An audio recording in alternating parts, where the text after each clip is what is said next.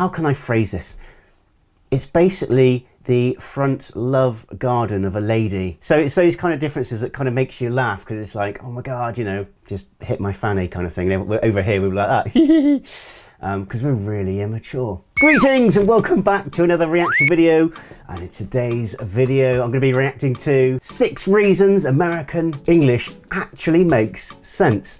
Now, I'm really looking forward to this one. I've not done a Lost in the Pond video for a while, so I'm really, really looking forward to doing another reaction to the legendary Laurence Brown Lost in the Pond. I'm Mr. H, and I'm on a mission to learn all things USA. If you're new to the channel and that sounds good, then don't forget to subscribe, hit that notification bell, and you'll be notified every time I upload a new video. I'm going to shut up. Let's get straight into it.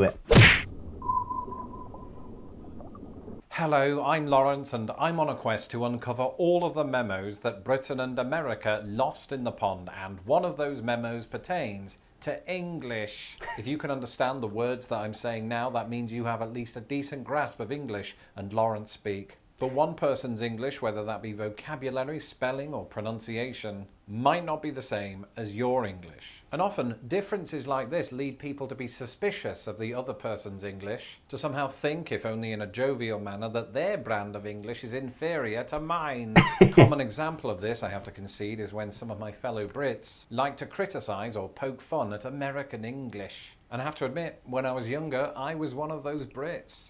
But then I went to university and two things happened. One, I interacted with American students. And two, I did a useless degree in linguistics and took a module on English varieties. I think for us, the funny things are bottom, and you guys call her bottom, backside, uh, you call it fanny. So the, the word over here, fanny, is, is, how can I phrase this? It's basically the front love garden of a lady. So it's those kind of differences that kind of makes you laugh because it's like, oh my God, you know, just hit my fanny kind of thing. Over here, we are like that because um, we're really immature. Let's get back to it. And after that, my mind was open. American English wasn't wrong, it was fascinating. Mm. It's a variety of English whose story has often been lost to time. So yeah, I've heard this one before from Americans. You, as in the English, you created a language, but we perfected it. Because just as there are countless fascinating histories behind the words we use in Britain, the same is also true of the United States. And so without further ado, here are six reasons that American English isn't wrong. The longer that I do this channel, the more examples I discover of words or language concepts just very quickly, I'm liking the, uh, I'm not sure, I don't think, are they pillowcases in the background? Quite similar to what we've got behind here. I like his background, looks nice. Lovely guy as well. We perceive to be American, but actually originated in Britain. And on this subject, I've talked extensively about soccer and aluminum, but I think my favourite example is the word herb. To us Brits, hearing Americans herb. Drop the H on the word herb can often feel weird. But here's the thing, back in the day, we used to do it. There was a slew of words that entered the English language via Old French that incorporated a silent H. This included honour, hour, hors d'oeuvre, and yes, herb. But Brits just stopped pronouncing it herb in, I want to say, the 19th century because it was soon considered the way commoners spoke and the upper classes can't be having that. And so eventually, in Britain, it was dropped altogether and America, on the other side of the ocean, didn't get the memo. Now, I know over here, I'm not going to name any names and you would never know them anyway, but I know a couple of people who have, let's say, regional dialects, not in the West Country, or maybe some of them are in the West Country, but they've actually had speaking lessons to, to actually change their accent to be more sort of elevated and upper class. And yes, well, absolutely, darling. And uh, yes, uh, please pass me the uh, vodka martini. Um, I'm not sure where that was going, but yes, it's funny. It's funny. People kind of drop or they, they really make a conscious effort to drop their local accent to sound more elevated and more sort of elite. And yes, absolutely, um, we talk like that. And when it comes to this, there are actually two other things that make us Brits a little bit hypocritical when judging the American pronunciation of herb. Firstly, we're forever dropping H's. I mean, I don't know if you've noticed, but recently I've had an haircut. That's northern for haircut. Big differences between the north and the south. I'd say haircut, but yes, when he says that, northerners do kind of say haircut. But that's a regional thing in the UK. And secondly, before we start handing out diktats on how to pronounce the letter H, some would suggest we might want to learn how to pronounce the word H. Some, not me, I'm open to multiple interpretations. But the fact remains that in a dictionary, the word H ends in an H, but it doesn't start with one. Oh, and while we're on the subject of pronunciation, that brings us on to this. You know, in Britain, we're sometimes very quick to judge the way in which Americans pronounce words, maybe because it's so markedly different from the way we do. But this hasn't always been the case now, has it? Because as many of my subscribers have asked me over the years, Laurence, is it true that features of American English are similar to the way in which people spoke in England in the 1600s? To some degree, yes. A good example of this is that back then most of Britain would have pronounced the R in words like card. That linguistic phenomenon is known as rhoticity and is a large feature, of course, of American English today. And where I'm originally from, in Dorset, and we like our R's. Card.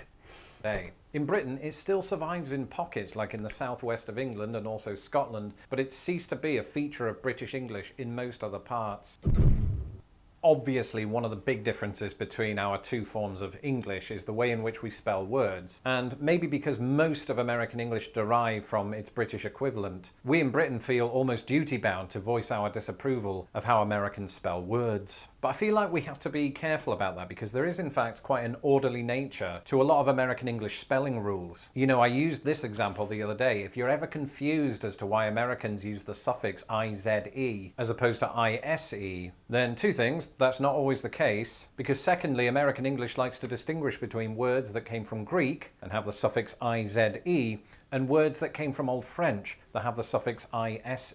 So in American English, for every internalize, you also have exercise. In Britain, we tend to not make this distinction. Whether the word came from Old French or Greek, it usually ends in ise. And to me, I'm perfectly fine with this as well. Additionally, we like to be puzzled as to why Americans drop the U in words like colour and honour. But the truth is, we actually did the initial change, because in Old French, from which words like this derive, the words colour and honour were spelled just as they are now in an American dictionary.